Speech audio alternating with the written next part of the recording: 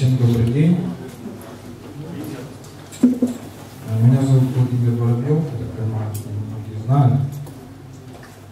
Э, Ну, я на разных конференциях по-разному себя представляю. Сейчас, наверное, зависимости от тематики конференции. Сейчас будет более уместно сказать, что я занимаюсь разработкой веб-приложений, э, тоже отчасти пишу, ну, сотра- сотрагиваю с UI. Вот, и э, вообще хотел затронуть такую вечную тему, э, которая меня интересует там как project менеджера, как девелопера, это качество, э, ну, качество того приложения, которое разрабатывает команда, качество того приложения, которое в итоге будет иметь конечный пользователь и непосредственно заказчик. Э, Ну, привязать ее к UI тематике есть очень замечательный фреймворк для тестирования Jasmine на JavaScript. Вот. Ну, сейчас уже, да, уже JavaScript не только для э, UI используется уже для серверной части, но все-таки, не знаю, все-таки, думаю, львиная его часть используется все-таки для UI. Вот. Ну и как бы, таким образом решил привязаться к теме данной конференции. Вот. Вопрос в том, э, ну, меня просто интересует вообще, как много людей вообще открывают тестами свои, свои приложения. На сервис-сайде, где уже это Ну, сервис сайт, клиент сайт. А что вы, ты не тесты не писали? Как бы, а кто не покрывает? А что ты два раза? Остальные воздержались? Что? Ты два раза поднял. Ну, я просто показал, что. Условный рефлекс. Когда вы Ну, в общем, на самом деле, это, ну, как я не буду рассказывать про какой-то конкретный проект тоже сегодня, потому что эта проблема со мной ходит из одного проекта в другой. То есть я там, показываю, какой профиль будет иметь от этого э, девелопер, который будет писать тесты, э, показываю заказчику, какой профиль будет иметь заказчик, если девелопер будет писать тесты, зачем ему за это платить. Вот. И, э, ну, в общем, я, если честно, не вижу разработку какого-то продукта без теста. Только потому, что они экономят лично мое время, э, потому что, ну, именно вот в, в той технологии, в которой я работаю. То есть в основном я пишу на Ruby какие-то сайты. И, э, скажем так, проклацать функционал 2-3 раза, который я пишу, это уже есть то время, чтобы написать э, такой же самый acceptance тест, который будет в следующий раз делать за меня. Э, ну, как есть, так и говорю. Ну, конечно, до этого уровня, естественно, надо немножко ну, там, подучить инструменты. Как- Ну, скажем так, я полгода усиленно экспериментировал, пытался понимать, что надо тестировать, что не надо тестировать вообще в приложении, потому что овертестинг тоже это очень хорошая вещь. Вот. И, ну, скажем так, мне как девелоперу очень удобно писать тесты, потому что э, я точно понимаю, ну, язык Ruby, ну, в принципе, JavaScript тоже такой, что там очень много свободы, то есть это не какой-то компилированный язык, на этой компиляции очень часто бывает так, что ошибки не говорят. И очень часто бывает так, что какой-то девелопер из одного участка своего кода может спокойно поменять участок моего кода там, или какого-то другого девелопера, ну, потому что ну, в Ruby и в JavaScript тоже там, скажем, есть для этого очень много инструментов. И поэтому приходится жестко закреплять тестами э, ту бизнес-логику, которая должен соответствовать данный продукт. Э, Также эта проблема не только на э, тех бизнес-приложениях, в которых я работаю, также и в open source. Ну, банально, есть какой-то jQuery плагин. То есть, ну, все знают, что такое GitHub, и все понимают, ну, для чего это надо. То есть я, например, вижу какой-то тот же баг, или там вижу какой-то новый функционал, который можно было бы добавить в этот же, например, jQuery плагин. Я там делаю, создаю там свой бранч, пишу код, делаю pull request, вот, и тестов нет, я, если честно, не знаю, поломал я эту функциональность, которая была до, до этого раньше или не поломал. То есть это тоже, можно сказать, пляска с бубном. То есть надо садиться, клацать, понимать, что там есть. Э, ну, короче говоря, очень много времени тратится. Я очень как бы понимаю э, философию open source. Если, э, если тебе что-то не нравится, возьми, сделай. Помоги, переделай, подскажи, возьми на себя активно сделай. Да, я за, я готов, но очень часто бывает так, когда я влажу кому-то что-то помогать делать или там добавлять какой-то свой функционал, очень часто бывает так, что ну, как бы из-за того, что нет тестов на данную какую-то библиотеку, ну, просто я ее могу поломать нечаянно. Есть, потому что я не могу полностью все контролировать, проклацать, я считаю это очень глупо. То есть поэтому open source тоже, мне кажется, если тем более сейчас идет ну, с такими продуктами, как GitHub, э, скажем так, э, силы объединяются, да, то есть э, над одним продуктом могут работать кучу разработчиков, э, делать это по собственному желанию. Вот. И э, ну, с помощью, опять-таки, написания тестов мы, можем э, говорить о том, что данный продукт соответствует именно этому качеству, выполняет именно, э, решает именно эту задачу, для которой он предназначен. То есть если новый девелопер вошел, что-то как-то где-то нечаянно зацепило, это ну, жизнь, это реально, это бывает. То есть в этом ничего страшного нет. То есть ну, тесты просто должны это показать. Ну, то есть это мое мнение, моя философия, там, я никому не навязываю, просто мне так удобно. Э, ну, теперь к инструменту. То есть, в общем-то, Jasmine мне очень по духу и очень близок для написания тестов, потому что, э, можно сказать, это как-то частично порт от такого мощного инструмента тестирования на Ruby, как RSpec. Э, вот. И там похожая подобная идеология, только ну, на свой JavaScript план. Э, ну, есть такое понятие, как TTD и BDD вообще. Кто знает, что такое BDD? А кто его делает? А ТТД делаете? Ну, в принципе, ну да, это очень, на самом деле, очень классные, удобные техники. Они кажутся сложными, но это только если в них нет какой-то практики начальной.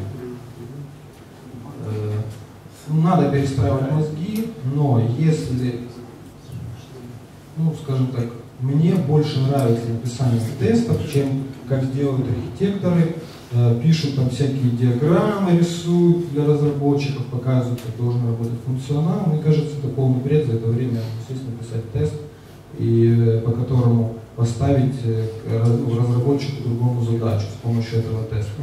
То есть твой участок кода должен делать это, принимать такие данные, и я должен получить какие-то какие-то данные. Дальше он программирует этот алгоритм, вот, и э, вместо написания кучи всяких бесполезных вещей типа диаграмм, я делаю конкретно тест, который четко ставит задачу. То есть, ну и, соответственно, тоже таким образом повышая качество сразу изначально того продукта, который разрабатываю. Э, ну, я не знаю, то есть это просто двух рук было поднято меньше, чем 50%. Я как бы, когда, может, на минутки на две больше задержусь на таких вещах, БДД и ТДД, в двух словах, чтобы все понимали, о чем будет речь. Э, Почему, сейчас ну, скажу сразу, почему э, Jasmine э, БДД, для меня тоже, если честно, не мог сначала понять, пока не нашел э, один интересный плагинчик. И, ну, для меня чисто Jasmine это не БДД.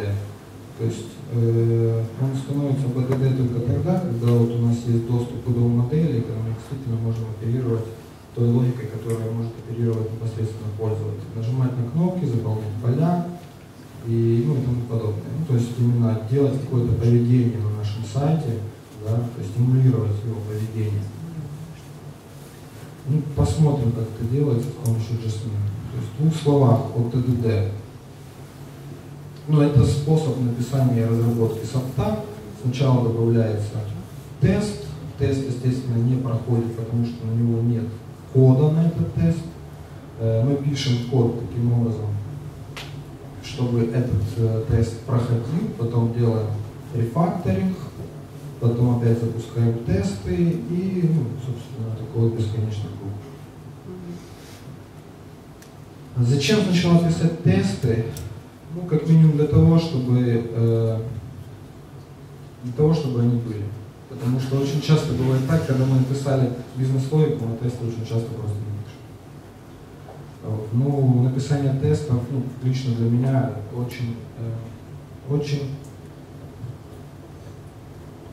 ну, очень э, весомо для того, что мы можем действительно, ну, как я уже сказал, повысить качество нашего софта. Ну, для меня это очень важно.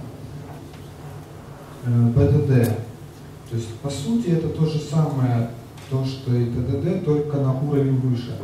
Э, ТДД это, скажем так, тесты, можно сказать, только для разработчика.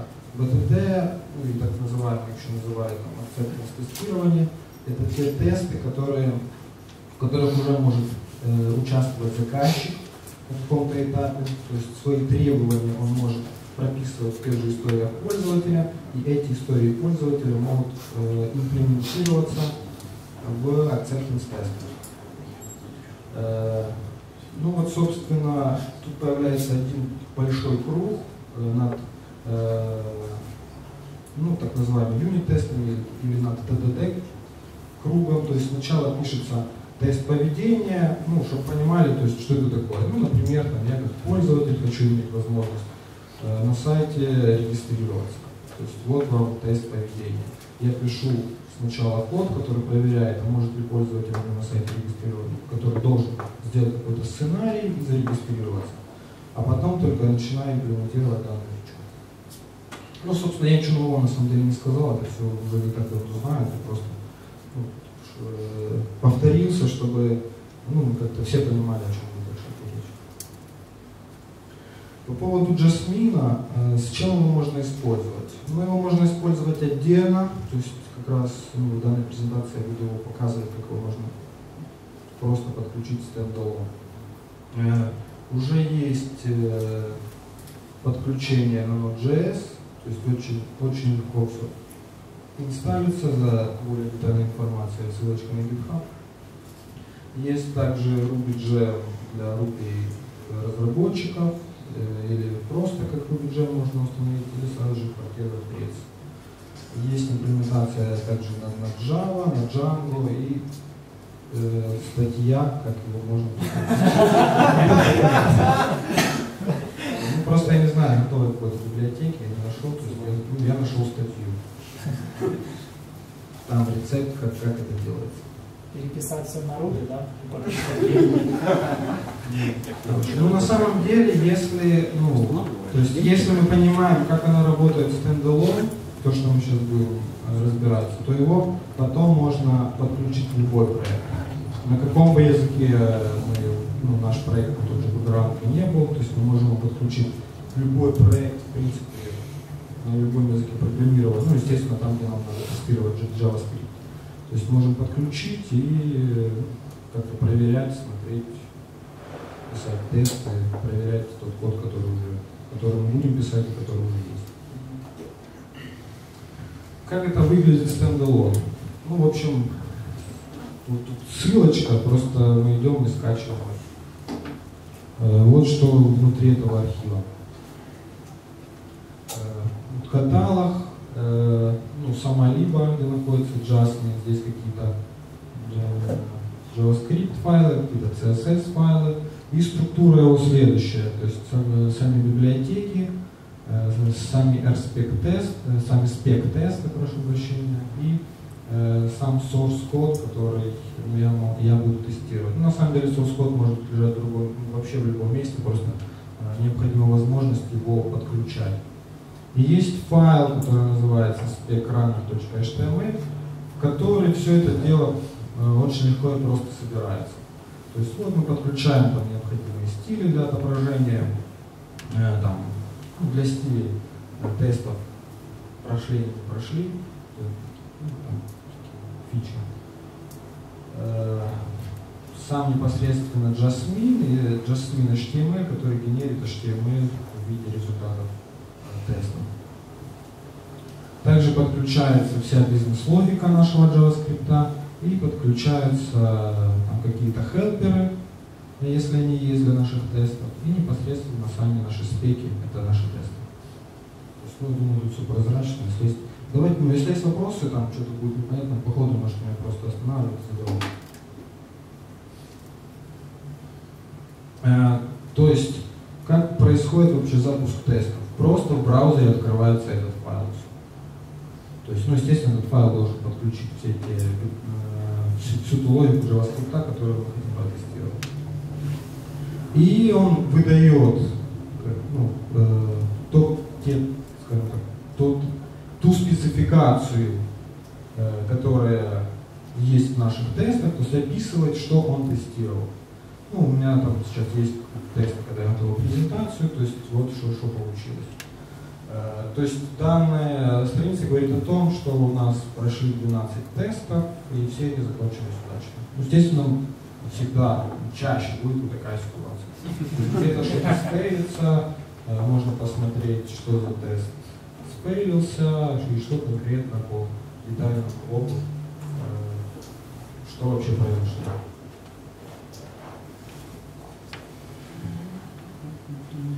Как это все работает?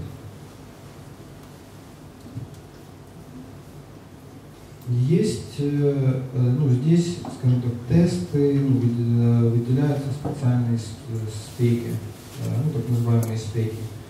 Есть специальный метод, который называется if.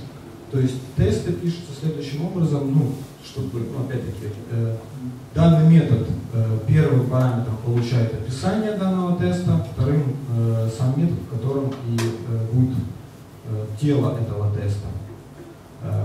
Описание составляется следующим образом. Э, ну, здесь дальше будет видно, то есть так, чтобы it и э, это описание читалось ну, вот как э, нормальная фраза на английском языке, чтобы было понятно, что оно, что оно вообще делает, что оно из себя представляет. Э,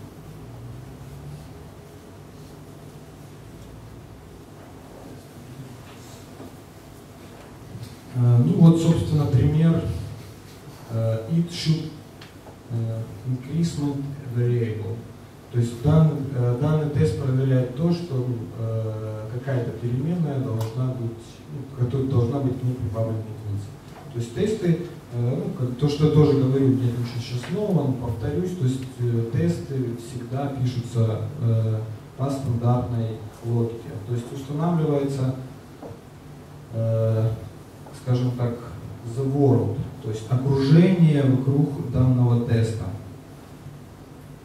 Э, то есть э, то окружение, в котором будет запускаться наша бизнес-логика, э, и именно таким образом будет создаваться окружение, то есть будет создаваться такая среда, в которую мы хотим поместить нашу тестируемую бизнес-логику. Ну, то есть, опять-таки, скажем так, наша бизнес-логика может себя вести, например, в разных ситуациях по-разному, да, и э, ну, на первом этапе мы именно создаем э, для теста то окружение э, именно такое, что, что мы хотим протестировать сейчас. В, э, ну, как бы правилом хорошего тона считается то, что каждый метод должен тестировать что-то одно. То есть таким образом будет э, более понятно, ну, вообще там, можно опять-таки в один клик поместить кучу всяких проверок, вот, но таким образом более понятно, что конкретно мы хотим протестировать именно в данный момент. Э, делаем окружение для нашего теста. Соответственно, вторым, вторым шагом мы вызываем нашу бизнес-логику, э, которую хотим протестировать. То есть в данном случае у нас есть какой-то метод, да, plus one, мы ему туда какой-то параметр отдаем и э, получаем какой-то результат. То есть мы просто э, в данном окружении вызвали нашу бизнес-логику. На третьем этапе мы проверяем, э, все ли происходило таким образом, каким мы ожидали. То есть так ли на самом деле работает э, ну, наша бизнес-логика. То есть э, делает ли она именно то, что мы от нее ожидаем, что необходимо. В данном случае тоже пример очень простой, то есть мы просто проверяем тот результат, который э, нам э, вернул метод класса. И в данном случае он должен э, равняться единице. То есть мы ожидаем такое поведение. Есть специальный метод в Jasmine, который э, называется э, expect, то есть это те наши ожидания, э, которые мы накладываем э, на, на результат выполняемого теста. И есть так называемые э, матчеры. Э, то есть мы, э, ну, мы о них чуть позже более сейчас подробно поговорим. То есть с помощью этих матчеров мы задаем именно логику проверки. То есть в данном случае мы говорим о том, что мы ожидаем, что наш результат будет равен единице.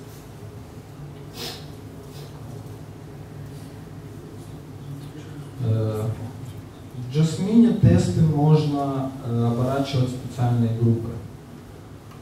Э, То есть у нас есть метод describe, первым параметром он получает тоже какой-то description данной группы, и э, э, вторым параметром он получает метод, который и будет выполняться, вся логика, которая будет выполняться внутри этой группы.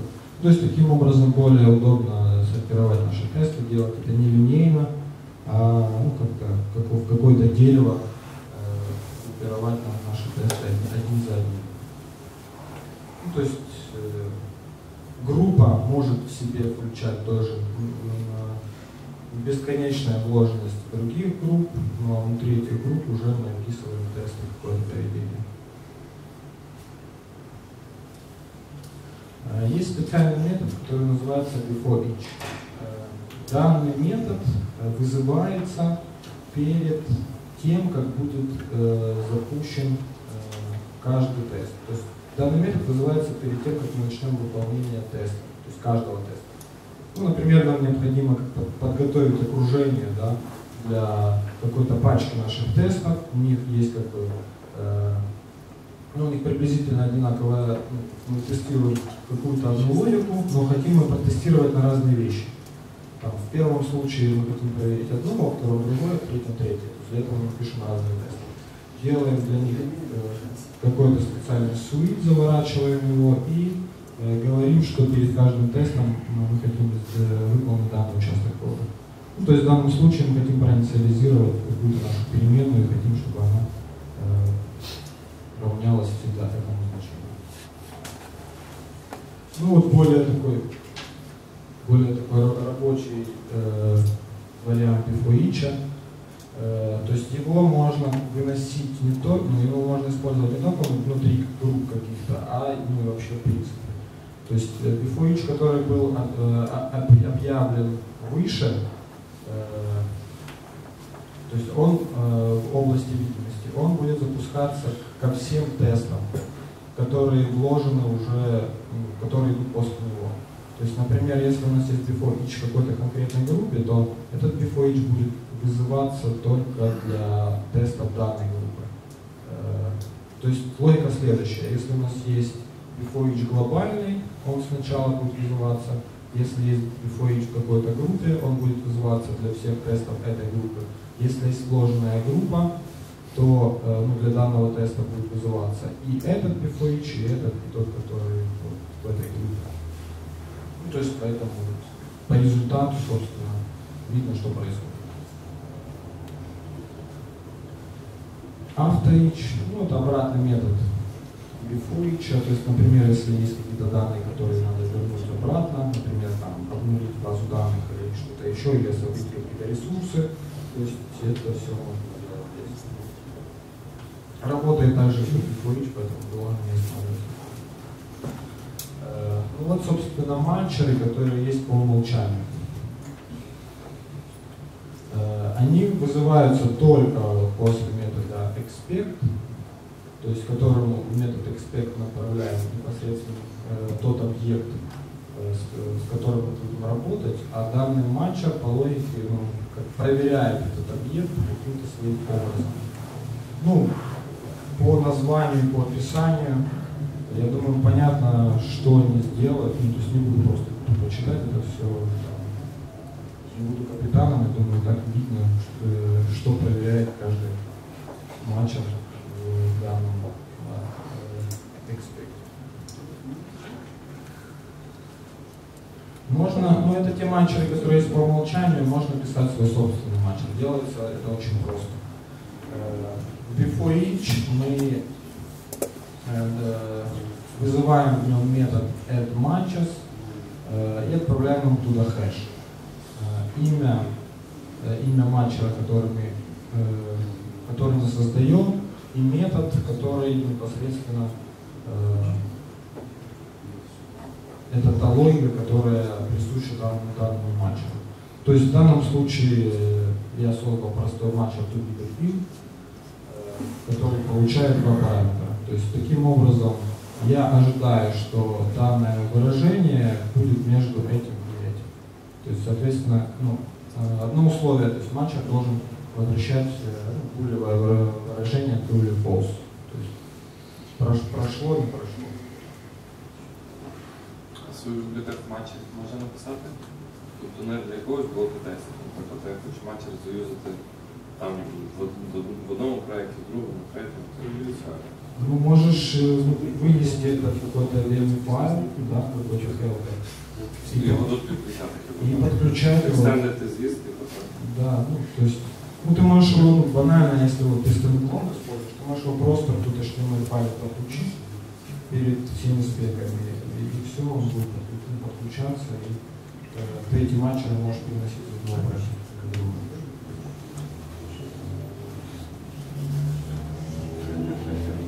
Есть такой механизм э, моков и стабов.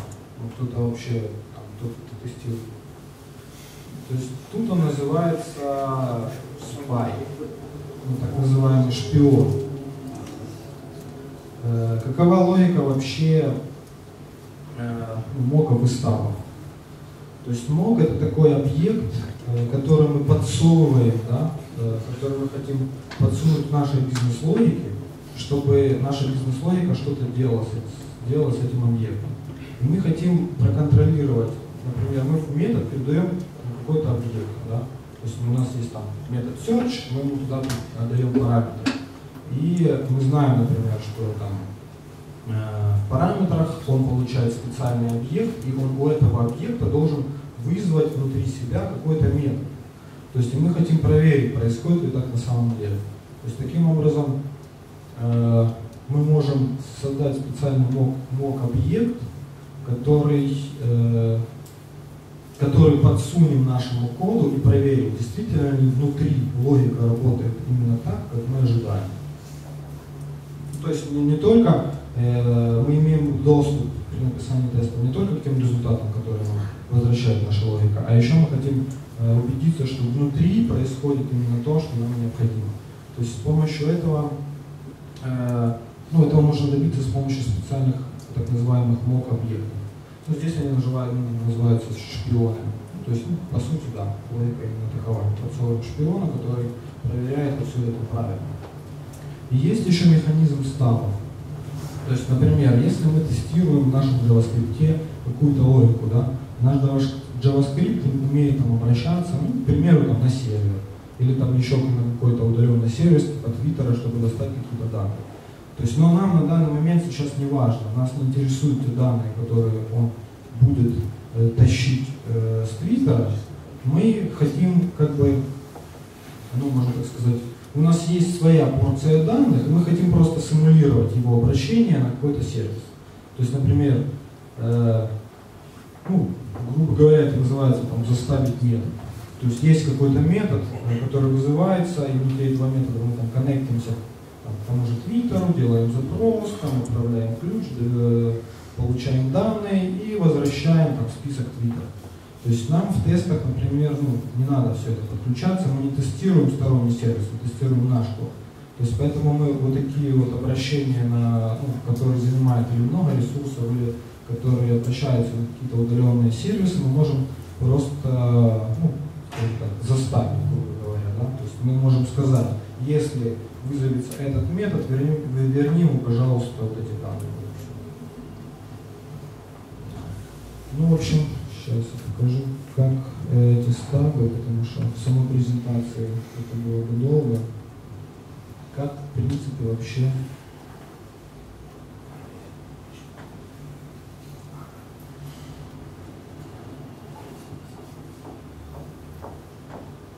как ими пользоваться.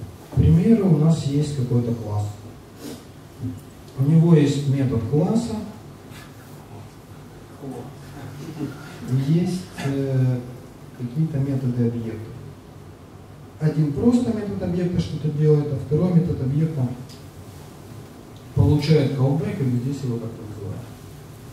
И мы хотим проверить, ну, как бы, ну, скажем так, поиграться э, с помощью наших шпионов с, с этими методами. Ну, например, там видно, да?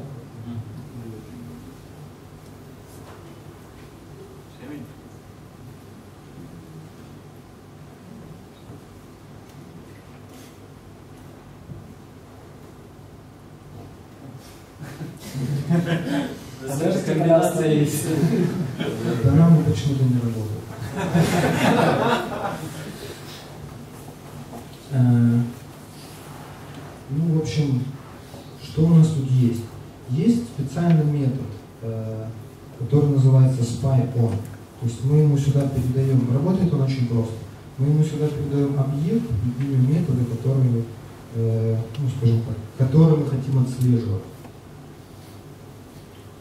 Э, После того, как ну, мы вызываем данный метод, там, возвращаем, даем ему туда какие-то параметры, то есть, ну, таким образом, когда мы, скажем так, навешали, навесили на, э, какой-то метод нашего объекта какого-то шпиона, то есть, то по сути этот метод уже вызываться не будет. То есть будет просто эмулироваться его вызов, вот, и ну, э, этот шпион будет это у себя фиксировать. То есть, э, когда, сколько раз был вызван этот метод, с какими параметрами, ну и тому подобное. То есть в данном случае мы просто вызываем этот метод с какими-то конкретными параметрами и проверяем э, нашего шпиона. Что этот метод вернет? Где это в описании этого шпиона? Где этот метод шпиона? Вопрос. Ну, вот у тебя класс, точка, статик метод, full arguments. Четвертая строка. Где описывается статик метод? Ну, Ну вот я вот показал. Э, У нас есть бизнес-логика. У нас есть какой-то класс, у него есть метод класса. Вот он. Что-то делает. А что он И без есть спайон вернет? Да, что он будет делать, вот этот обернутый статик В данном случае ничего, но ему можно сказать, э, что он должен вернуть, если э, он будет вызван. А где спайон? ну я покажу, там есть специальный механизм. Ну, дальше. Да, JavaScript очень удобен в этом плане, в плане реализации мода. Ну вот да, вот, ну, Как как языки, э, ну, ну, ну, вот, вот такие языки, э, в Ruby, наверное, еще Э, Ну, тоже PHP, э, вот эти языки, которые не компилирован, не компилируемые, они в этом плане более гибкие. Есть PHP, можно- PHP с этим намного сложнее. Ну, там он растет, скажем так. Ты Он там- существующий инстанцированный объект, ты его не замотаешь уже. То есть тебе придется там не А как же через такую жопу. Ну, на самом деле, скажу, если честно, то есть там вообще намного красивее. Прикольно, но э, ну, JavaScript тоже очень мощно, но есть какие-то какие вещи с метапрограммированием связанные. То есть и ну, таким образом можно это использовать. Э, То есть в данном случае нам, нам просто интересно, э, с какими параметрами данный метод был. То есть ну, мы можем таким образом создавать шпионов и навешивать на них какую-то проверяемую логику. Ну, в данном случае мы создаем объект по образу и подобию тоже, навешиваем на, него вызываем его с какими-то параметрами и проверяем, действительно, был ли он вызван с ним. То есть, ну, можно еще сделать такую проверочку. Мы создаем шпиона, не вызываем этот метод и проверяем, не был, не был ли он действительно вызван. Пример с колбеком, ну, на самом деле, вот этот пример, он э, в- э, чаще всего именно так и используется. То есть есть какой-то метод, мы создаем шпиона, ну, есть какой-то объект, в принципе. То есть мы создаем шпиона, мы его куда-то передаем, а потом проверяем, что вообще делали с этим. Ну, можно маленький вопрос. Касательно философии очень интересно. Смотри, ты вот эти два, две проверки в один метод всунул, да, в один тест-кейс. А, а как бы по идее они должны быть в разных, на разных тест-кейсах. То есть то же самое, только no print да? Да. То есть как ты обычно делаешь? Я вообще стараюсь писать вот ну, на один спек, Ну понятно, то Ну, есть всё- одно- один э, expectation, который... часто ты ну, в одном тест-кейсе две проверки делаешь. Ну, бывает вообще. Бывает, ну как бы. Ну вот в этом конкретном случае ты это осознанно сделал или просто типа впадло было? Знаешь, в этом случае я вообще об этом не думал, потому что хотел просто пример. То есть, ну, как бы, если нам, ну, опять-таки, если напрашивается, ну, ну, действительно, вот я хочу, ну, как-то, ну, логично, оно действительно просится, то я делаю. Я стараюсь, ну, все-таки, если это действительно проверка на какую-то другую логику, я стараюсь так вести. А заставити з підміною можна? Тобто, ну, мало бути можна. Наприклад, е, якщо я прийшов з, з таким-то параметром був виключений, то виконати таку логіку. Якщо з таким-то, то виконати таку. Ну, это, по сути, ну, написать два, два спека, два теста. В одном ты создаешь специальное Ні, маю на окружение. увазі, от у мене е, треба заставити деякий там об'єкт, яких декілька, та, і в мене е, логіка виконується з багатьма об'єктами одночасно, один тест-кейс. Мені треба їх всіх там заставити послідовно їхнє виконання. А, ты имеешь в виду, то есть э, цепочку сделать? Так, так. Не, ну можно это вручную сделать. Ну, тобто там механізм є. так. Ну, Ну, в, в респеках можна просто. так. Вот, Ну, в RSpec, ну, можно, э, ну, там, можно специальный чейн Через яму. Ну, а здесь ты, ну, ты можешь сделать вручную, ты можешь создать, э, ну, как, заставить объект, получить мод объект, сказать ему, если вызовется это, верни это, ну и таким образом, э, ну, таким образом сделать цепочку. Ну, то есть какие-то стабы передавать ему другие стабы и говорить, что нужно обращать. Ну, вручную это, конечно, будет выглядеть не очень красиво, но это, это делается.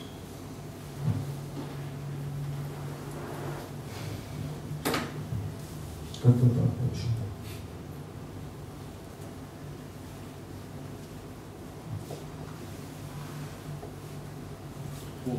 Ну, в общем,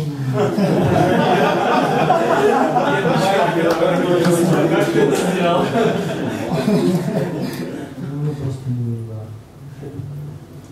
Э, Вот есть матчи э, специально для, для шпионов.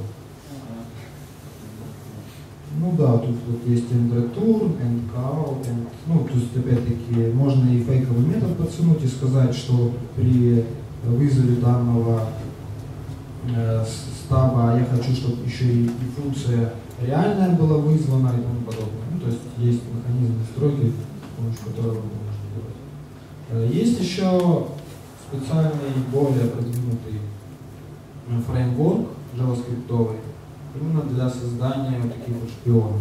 То есть вот эта функциональность, вот эта вот та функциональность, которая есть по умолчанию, которая есть в Jasmine. То есть э, там, если хотите более, более крутой инструмент, то, то можно А посмотреть. что более, что, что? Ну там больше механизмов всяких.